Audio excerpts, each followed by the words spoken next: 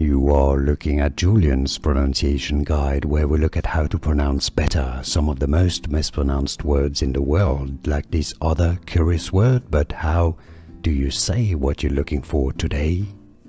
We are looking at how to pronounce these words as well as how to say more interesting but often confusing words in English, so make sure to stay tuned to the channel How Do You Say It?